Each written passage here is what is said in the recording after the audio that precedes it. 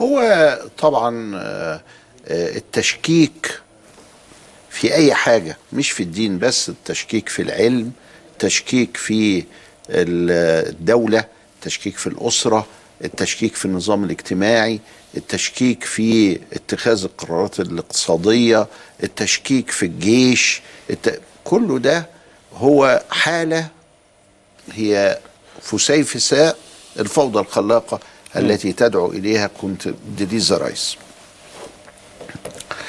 ولذلك على طول لما نلاقي واحد واخد الماجستير بتاعته من بريطانيا وجاي لنا آه، نطت علينا بالباراشوت وبيقول على البخاري الذي بذل في صناعته ووضعه وإخراجه وتأليفه أن قرأه على الفرابري سبعون ألف.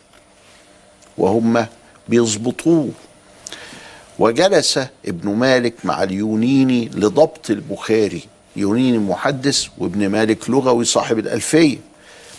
علشان يظبطوا البخاري فاتخرجت النسخة اليونينية. كلام علمي على أعلى مستوى للعلم. أنا لا أنسى ابدا وأنا في كامبريدج إن الراجل بيقول لي ان 1 باي 1 آه، هم حاطين أستاذ لكل طالب. الطالب يبقى معاه أستاذ مباشرة كده. عارف دي جايبها منين؟ جايبينها منين؟ قلت له لا. قال لي من الأزهر.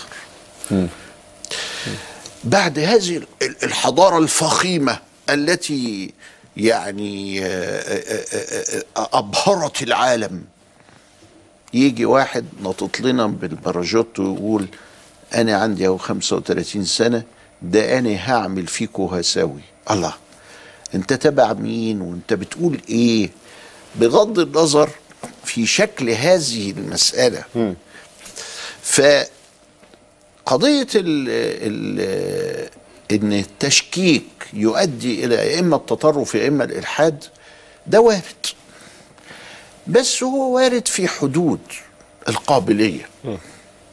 القابلية في حاجة اسمها القابلية.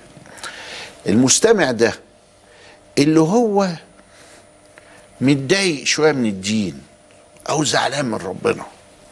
هو بيصلي بس زعلان كده من جوه مش راضي. تشوف ربنا وصف التاني الأكابر بيقول رضي الله عنهم ورضوا عنه. إن أنا راضي عن ربنا مبسوط. نعم. لكن التاني ده زعلان يا عيني من ربنا.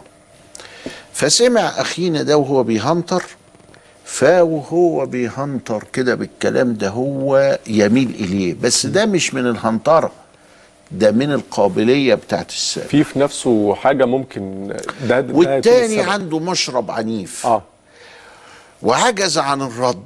مش معاه معلومات كافية علشان يرد ولا علشان يتبين له إيه الهتر الهتر يعني الحمق. اللي بيقوله صاحبنا ده ف عايز يقتله طب مين اللي بيقتل الدواعش والإرهابية طب ما ننضم إلى الدواعش والإرهابية دفاعا عن صحيح. هويتي قبل آه. دينه آه. ودفاعا عن ديني ودفاعا عن كل حاجة فنعم هذا الخطاب الأهطل الذي هو مبني على طأ الحنك يعني على الظاهرة الصوتية يؤدي إلى التشكيك في قبل ال- الهش نعم. إلى الإلحاد نعم. وإلى في قبل الصلد إلى التشدد والتطرف وكلاهما وجهان لعملة واحدة كما قلنا مرارا.